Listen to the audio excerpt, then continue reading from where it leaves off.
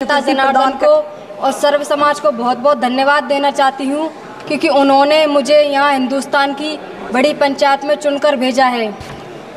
अध्यक्ष महोदया, मैं भरतपुर संसदीय क्षेत्र से आती हूँ। यहाँ शहर से लेकर गाँव तक पानी की बहुत बड़ी समस्या है। मेरे क्षेत्र में पानी योजक पानी की कमी है, क्योंकि ज़्यादातर पानी में क्लोराइड और खारापन है।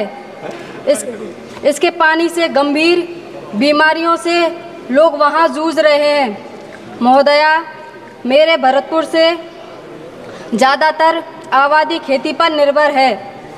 परिवार का पेट भरने के लिए खेती के अलावा रोज़गार का कोई अन्य संसाधन नहीं है। पानी पानी की कमी के कारण किसान भुखमरी और आत्महत्या करने पर मजबूर है। महोदया, मैं ज़मीन से जुड़ी हुई हूँ और एक किसान परिवार की बेटी हूँ। इसलिए किसानों का दर्द महसूस करती हूँ। सरकार पानी को लेकर बड़ी बड़ी घोषणाएँ करता है परंतु आज धरातल पर कोई काम नहीं हुआ है। मुझे दुख है इस बात का कि मैं देश राजस्थान पानी की किल्लत को बखूबी जानता है। फिर भी बजट में राजस्थान की अनदेखी की गई है। सरकार ने राजस्थान माननीय सदस्य को जनता जनार्दन की पानी से संबंधित कोई अन्य राहत या पैकेज नहीं दिया है। माननीय सदस्य श्री सोली जी। आपके माध्यम से मेरी सरकार से अनुरोध है कि सरकार मेरी संसदीय क्षेत्र माननीय सदस्य जी कंप्लीट करिए अपनी बात। अध्यक्ष महोदया मैं भरतपुर संसदीय क्षेत्र से आती हूँ।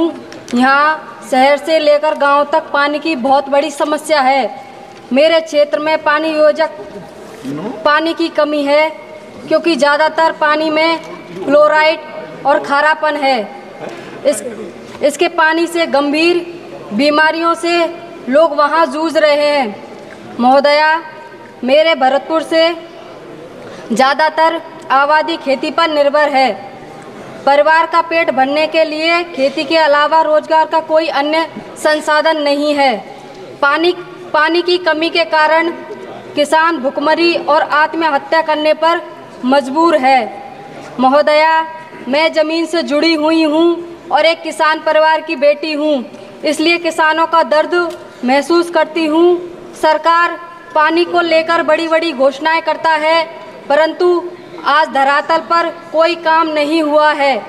मुझे दुख है इस बात का कि मैं देश, राजस्थान पानी की किल्लत को बखूबी जानता है फिर भी बजट में राजस्थान की अनदेखी की गई है सरकार। ने राजस्थान सदस्य को जनता जनार्दन की पानी से संबंधित कोई अन्य राहत या पैकेज नहीं दिया है माननीय सदस्य अंतिम में सोली जी आपके माध्यम से मेरी सरकार से अनुरोध है कि सरकार मेरी संसदीय क्षेत्र माननीय सदस्य जी कंप्लीट करिए अपनी बात धन्यवाद महोदय